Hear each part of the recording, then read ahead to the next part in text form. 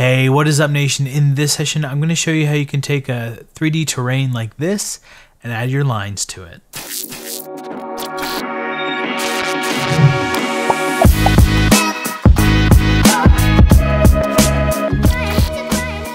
The fundamental answer of this is really just understanding how SketchUp works. So if I go to View Hidden Geometry, you can see that there's a bunch of, of triangulated faces that make up this, what I'm going to call mesh.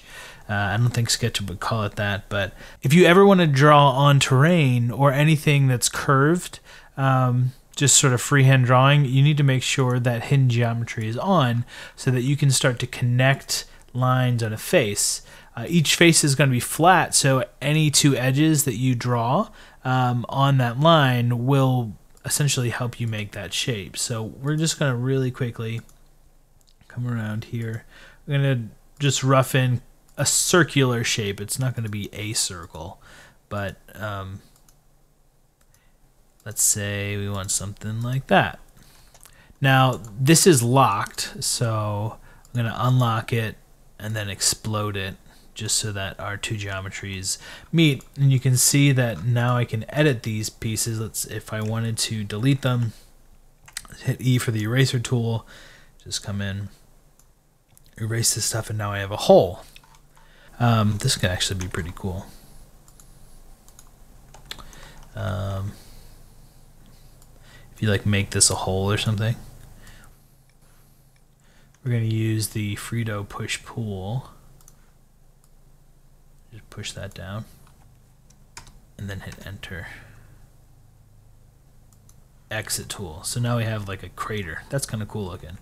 Um, if you're doing like a moon project or something, if you want a really perfect circle, uh, what I would recommend is going off to the side, making a your circle. Let's say this is a double-sided circle or a, a double edge circle. We want something like this, like a ring. I'm going to make this a group. And this doesn't necessarily have to be um, a solid, it could just be lines.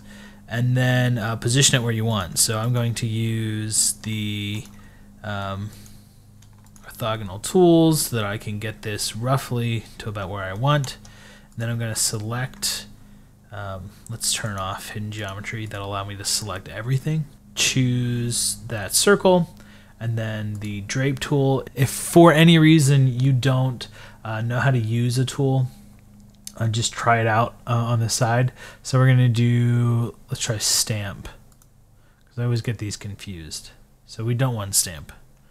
Kind of a cool, kind of cool what's going on there, but that's not what I want.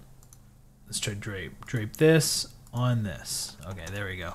So then you can delete that middle line and you still have the outer ring, or vice versa. Uh, so hopefully this helped. Uh, if you like this video, please don't forget to like, subscribe, and share this video with your friends. And as always, happy hacking. All right, designers, just because this episode of Designer Hacks is over doesn't mean we're leaving you out in the cold. Tony's got tons of great content available at designerhacks.com. So join Design Nation right now, and we'll see you on the next episode of Designer Hacks.